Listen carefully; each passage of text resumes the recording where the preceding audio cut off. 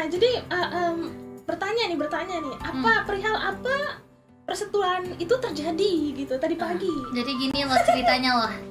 Diawali saat aku masih tidur pagi hari. Ya, aku masih tidur nih. Terus aku mimpi gitu. Mimpinya itu ceritanya, pokoknya ceritanya nggak enak lah. Ceritanya itu di mana aku di PHP-in gitu loh.